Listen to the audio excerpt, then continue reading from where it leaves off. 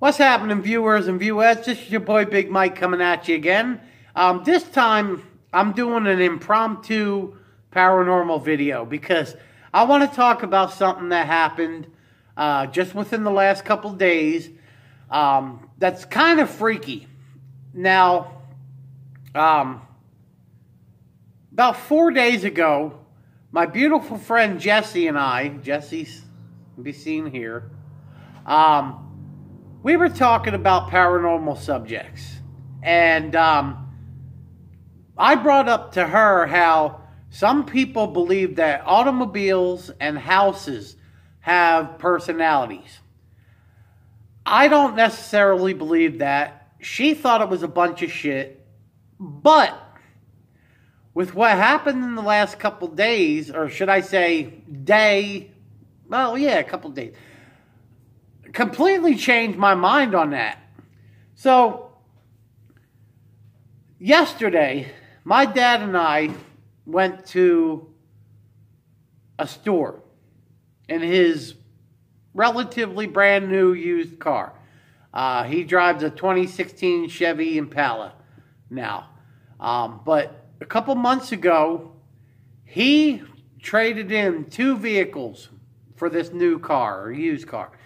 And um, it's run fine. It's no problems with it, nothing.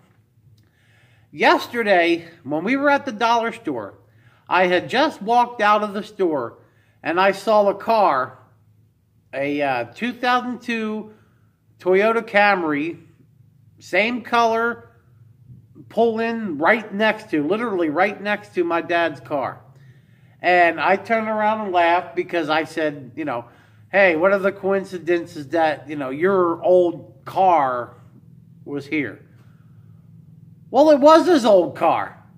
And I looked down by the rocker panels near the back, had a little rust patch.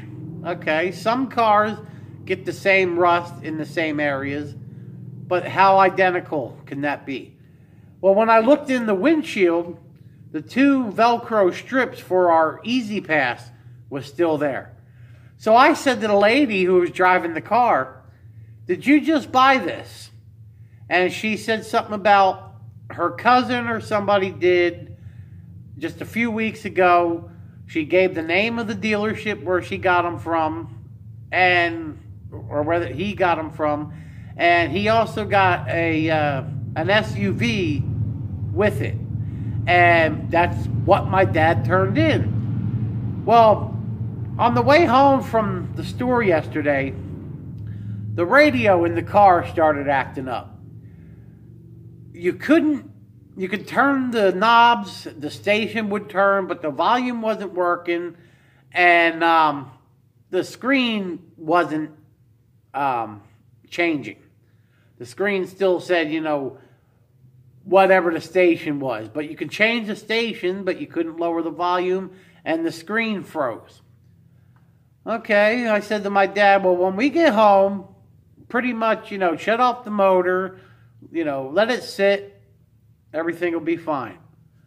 We go out today, the radio's fine. Nothing like yesterday happened. But shortly after we started um, heading out today, I heard a, the alarm on the car, the whatever, warning, saw lights on the dashboard check engine light, couple other things. And that's never happened. I mean, the car's only been with us a couple of months, but we've had no problems in that time. When my dad's old car parked next to his new one, and now all of a sudden we're having trouble with this? I mean, that, that seems like too much of a coincidence. I mean, that's freaking weird, if you ask me. Now, this isn't the first time this kind of a thing happened.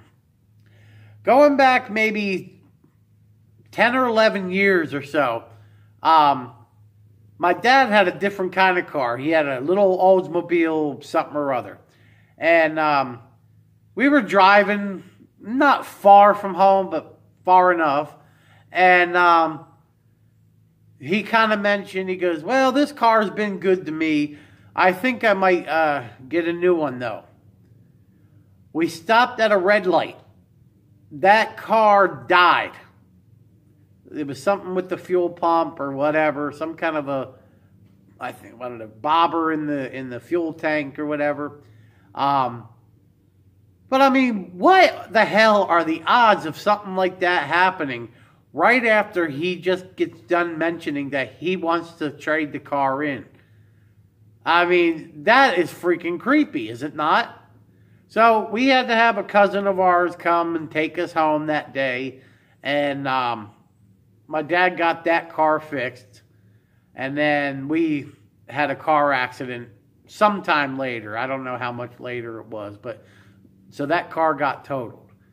But I mean, what are the odds that you would mention you wanting to get a new car and then your car that you're driving in die on you all of a sudden? So please, anybody who's watching this, um, let me know if anything like this has ever happened to you. Comment down below.